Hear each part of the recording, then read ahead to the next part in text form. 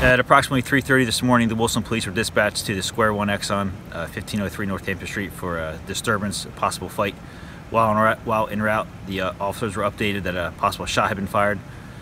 On arrival, our uh, officers discovered a male who had been shot in the abdomen. He was uh, eventually taken to an area hospital for, uh, he was treated for non-life-threatening injuries. Uh, at this time, we recovered one casing that we believe was in reference to the shooting. Uh, we also took another male in custody who was involved uh, in a fight. Do you know if the male is the shooter? Uh, at this time, we do not have information that he is the shooter.